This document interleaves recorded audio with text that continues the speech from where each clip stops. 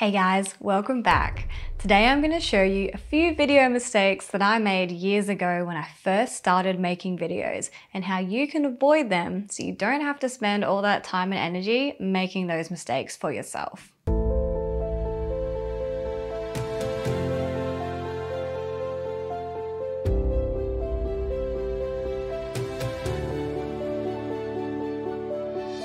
These are things I wish I had known and appreciated from the very start because they would have made some of my first videos look a lot more professional and interesting. You don't need expensive equipment to make great videos. What you do need is a really strong message and just a bit of knowledge about how to use the gear you have creatively. The best way to get better at making videos is just to make more videos.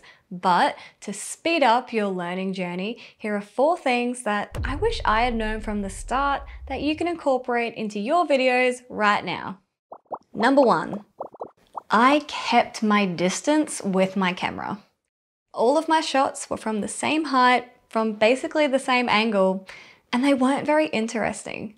I was worried that I would get in the way or be annoying if I was moving around with a camera.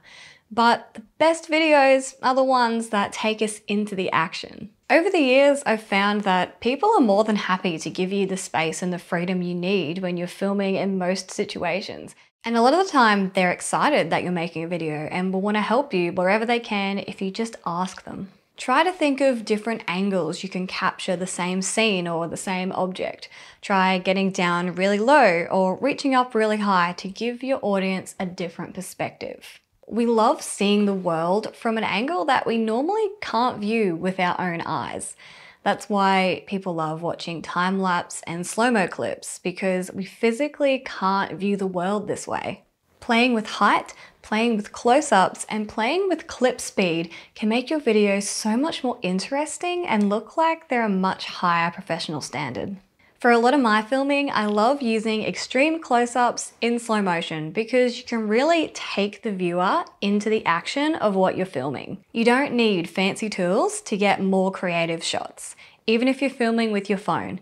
All you need to ask yourself is how can I give my audience a different perspective on the way they see the world through the lens?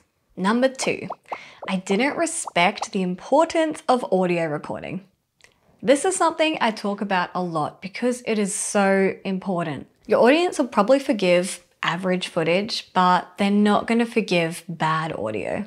Microphones are becoming more affordable all the time, so if you are creating lots of videos, check out the links in the description to some of the audio devices I recommend when you're just starting out. But almost all of us carry an audio recording device in our pockets at almost every second of the day. You can use your phone as an audio recorder using the Voice Memo app. Proximity is the most important part of recording good audio. If you can have your phone recording your voice closer than what your camera shot is, you can sync the two up later and have a much cleaner audio feed. You can have your phone near you on a stool, on a table, stack of books, down your shirt. Men's shirt pockets are an ideal place to put a phone audio recorder that's quite inconspicuous. A little tip for iPhone users, you can enhance the quality of your audio recording by going to Settings, Voice Memos, Audio Quality, and changing the setting to lossless. This means you won't lose any audio quality when your phone tries to compress the file. Number three, I didn't use music to drive the edit. Music creates the feel of the video. This one took me a long time to figure out. I used to just grab an okay royalty-free music track, slap it underneath my video at the end of the edit, press export, and I never really gave much thought to how this was affecting my video. But music can affect the video the most. Just like the type of music we're listening to can affect our mood, the type of music that we have underneath our video can affect the way the audience feels while they're watching it. If you want them to feel a certain way, easiest way to do this is to use music to drive that emotion. When I edit my videos now, I choose the music first and use that to drive the whole story. It is worth spending the time finding the right music to fit the feel of your video or of your brand, because it can make a huge difference to the way your audience responds to your video. This doesn't mean you need to pay a lot for your music tracks. There are lots of great free music resources out there. I've linked a few in the description for you to have a look at. Most of these come under the Creative Commons license, but it's always a good idea to have a read of the terms and conditions before you use them in your videos. Number four, my videos were too long. Take as long as you need to get your message across and not a moment more. It does take more time to say something and edit something succinctly, but it's going to do a lot for your viewer retention and viewership if you can have a short, engaging, succinct video. Long videos are awesome if your content is valuable and engaging, or if you have an audience who are your biggest fans who are going to watch anything that you put out anyway. My videos were long for the sake of being long. I enjoyed all my content because they were my videos, but that doesn't mean anyone else is going to watch a 10, even 5 minute video if it's not thoroughly engaging the entire time.